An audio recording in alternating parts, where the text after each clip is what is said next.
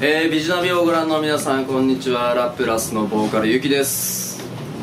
はいこの度ラプラスニューシングル「フクロウウィッチハント・オブ・モダン」がリリースされました。ありがとうございます。はいということでですねあのビジュナビさんに長いちょっと長い特集をあの書かせていただいたのでそちらの方もぜひチェックしてみてください。お願いします。そしてラプラス新体制になって初のワンマンが、えー、10月4日ですね、えー、場所は池袋越の方で決まってます。そちらの方ぜひ遊びに来てください。詳細などはホームページなどでチェックしておいてください。お願いします。